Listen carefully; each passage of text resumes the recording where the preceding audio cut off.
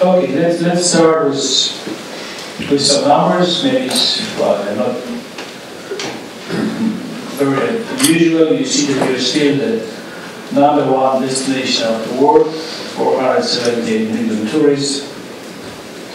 Uh, uh, and this is uh, something which uh, uh, will not be easy for us to, to keep this leadership because clearly there are other destinations that are competing against Europe they're trying to get the biggest chunk of the market, especially on Asian tourists.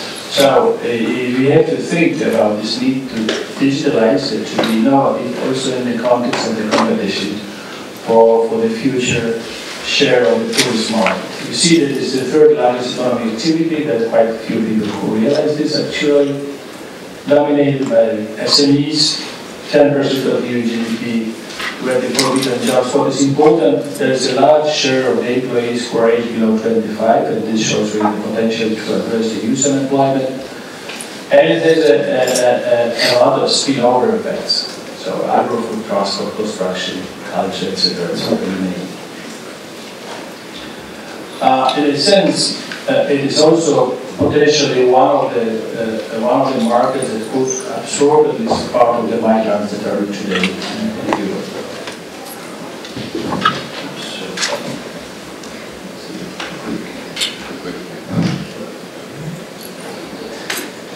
Okay. So as I mentioned, by, by if you if give you one more figure, by 2030, the international arrivals are predicted to grow from among 1.1 billion and 2 billion, with more than 500 million potential tourists coming from Asia alone. So this is something which is which is in the future. This is something we have to think about. And if this materializes, if we are able to make a, a, a, to get our share in this market, we could create every year around 500,000 jobs. So this is this is quite a lot, especially if many of those jobs can be created in the south of Europe that is right now affected by the crisis in the countries like Spain and Greece. Now let's let's look a little bit now at digitalization. I think it's quite clear that there is a huge potential for digitalization of tourists in Europe, which is not only interesting in a sense that it gives you more competitiveness, gives you more edge, but also makes the work tourist sector more, more interesting. Uh, and maybe for some of you this could be of relevance.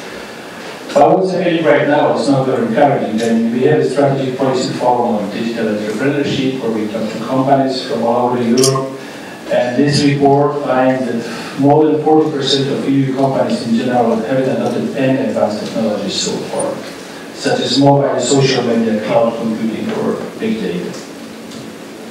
And this is even more uh, urgent and difficult in the tourist sector because I mentioned it's predominantly made up by small and medium enterprises. So I recently spoke to minister responsible for tourism in Scotland, and he told me that out of more than 10,000 SMEs that are active in tourism in this region, only 20% of them can give electronic invoice, and only 30% of them have the offer available on, on the website. So you see here what's the, what's the potential of digitalization. Now, collaborative economy. I think that tourism is one of the sectors that are most affected by this phenomenon. And uh, uh, undoubtedly and unstoppably will be changing the way the, the tourist works. It's very disruptive, changes the way the consumers think about travel and tourism. It is not a new concept because we had already the past some elements of the collaborative economy, but the emergence of online platforms as Airbnb, HomeAway, Couchsurfing, BookLocker, Uber, and many others has really accelerated the valuation of these models. And clearly these platforms are making it easier for those offering services to connect with the consumers. So people offering the home as tourism accommodation, the knowledge of the home city for tour guiding or the dining room for culinary experience, like in Spain, of local dishes can now reach out to practically unlimited number of travelers. That will come to there. So, uh, uh, just to give you an idea about the size of collaborative tools. In HOTREC, which is the European Association of Hotels, Restaurants and Cafes, estimate that accommodation sharing is now double the size of accommodation offered by traditional hotels in Europe. Airbnb, for example, had over 1 million properties in almost 200 countries in 2014. If you compare to Skipton, which is another hotel chain, they had 215,000 rooms in 76 countries. And Airbnb is right now the third most valuable venture capital company in the world with the, with the, with the valuation of $25 billion, whereas Hyatt Hotels had a market value of about 6 billion. In France, out of all accommodation offerings, over 40% are shared accommodation. And uh, one more example, during the Milan Expo last year, 8,500 collaborative accommodation listings were identified on the most popular platforms. And this is in the city which already has 450 hotels and 400 official non-hotel accommodation offerings. So it is clear really that collaborative economy services are now part of tourist experience. Uh, and that consumers are really looking for a sort of customized holidays. So what what are we doing as a commission the area of collaborative economy was a little bit, we took the reflection of should we regulate the sector, should we do something, should we don't do anything at all.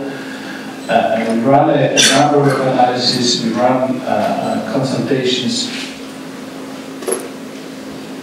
public consultations on, on, on platforms which are still available on our, on our website and then we published in June 2016 the communication on European agenda for collaborative economy. And what we do there, we, we, we refrain from legislating because we think that you know the sector is changing so rapidly. And uh, uh, if you look at the legislative cycle in the Commission or the European Union, it's around two years right now. So the, the, the regu regulatory intervention might be too heavy-handed and may, actually be out of tune with what's happening in this sector. So we decided to act rather as a sort of enabler and uh, uh, give a series of guidelines to the member states what they can regulate and what they should not regulate. And all of this in order to prevent market fragmentation, to prevent cities and regions doing different things that would lead really in a sort of non-existent single market in this area. We also publish what is mentioned here as a series of impulse papers. These are papers on different aspects of collaborative economy, such as market access, liability. Uh, and those papers are also available and uh, published on our website. Um, now, a couple of words about what we do right now, I think maybe I would like to focus on two new initiatives which might be particularly relevant here. One is a blueprint for skills. Um, this is the new approach which we take together with DG Employment, maybe which is a nice example of how we the Commission also try to work across the silos. And the idea is really that, or maybe the starting point is sort of lack of satisfaction of what we did on skills so far, where much of what we have been doing was very much supply driven. So now the idea is we should move to demand driven and look at the industry needs and try to deliver through training. So this approach uh, uh, picked up six pilot sectors which were chosen on the basis of the importance of skills for the future and the sort of industrial awareness that these skills are important and something should be done. And tourism is one of them. Uh, so right now we are still working with the stakeholders in order to prepare them to take part in, in two calls. One will be under our program, which is called COSME, a program for small and medium enterprises. And this will consist of working together with the industry to map out the skill needs and to come up with a long-term strategy. The second element will be done through Erasmus Plus of around 4 million euro over four years, and that actually will be available to the partnership with industry training institutions to create a platform delivering those skills. So it could be interesting, for example, the Soviet University. So the, the, the idea is that there should be at the end of this a self-sustainable platform that will be upscaling the best practices, also coming from the industry of skills upgrading or upskilling, and giving great people uh, a quick access, a sort of foreseeable career paths uh, in the future. So he's a truck, truck driver right now, I'm probably watching all those new technological developments rather with anxiety, asking myself, what will I do in 10 years? And the platform should reply to this. And I think it's very good that we are having this in the, in the, in the tourist sector. The other new thing is uh, so-called smart, or it's called industrial modernization platform that is built on smart specialization strategies. Now, smart specialization strategies is something new that the Commission put on the table for this financial perspective, and every single region in Europe has. Originally, it was done for as a sort of recognition for getting money from the cohesion policy. But this approach has proved so successful that even those regions, like in Sweden and Denmark, that received very little money from us, they actually are very keen on this. And we recently spoke with Americans, and Americans want to actually replicate this approach in their country. Now, in this smart specialization strategy, it's a sort of idea about how, what, what are the strengths of our regions and how you should build on those strengths in order to become a sort of unique in a, in a certain category. And many of those smart specialization strategies have tourism as one of the priorities. So the idea is to be to link those regions together in a sort of European value chain or cross-border approach and help them really come up with investment projects that could be then helped by us find either private or public funding. We see already some regions who are doing this in the such areas like 3D printing, and they really end up with a concrete investment project. But I think it would be a great idea if something similar would happen in tourism. In tourism, maybe that should be uh, uh formulated in a more uh, maybe subtle way, for example, the link between tourism and creative and cultural industries. So those regions who want to do something like this could actually work out a sort of offer, see what type of investment is missing in order to make this offer viable. Know, pool forces and then help by us, by different advisory services to put together this model to get the funding for, for this.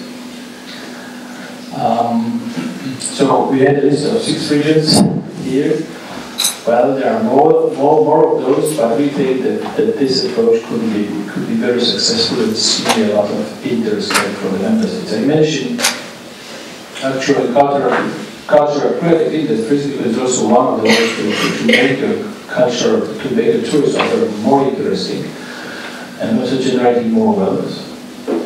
Uh, because uh, we will be having the European Tourist Day this year on precisely on the synergy between tourism, culture, and creative industries. Um, maybe the last thing I would like to mention is that, again, talking a little bit about the future, is that this time we managed, when, when meeting with the Chinese at the summit July to, to get the agreement in 2018 should be the year of EU-China trade. Now, this is important, and I was listening to you when you were mentioning your canton, your canton establishment and, and Chinese students, uh, because uh, in China, normally, a lot of tourists go to those places where the government uh, uh well, well, government indicates the sort of interest. So we saw in the past, there was a China here in Russia, right now in the US, and we saw, we see quite a huge increase in the number of tourists. That's also something where we can help because by, by, by nature, Chinese tourists do not come to see one single country, but those. So it's important element of cross-border pan-European. And this is sort of also a big chance for European tourist industry because as we, as we observe, the increase in the number of Chinese tourists could be close to 2 million people, and this increase has to be stable. So that's even the experience in countries like Russia. Those people tend to come back, and it's not a one-off issue. So I think that, that you are well prepared to, to, to get the best out of it. Okay, thank you very much.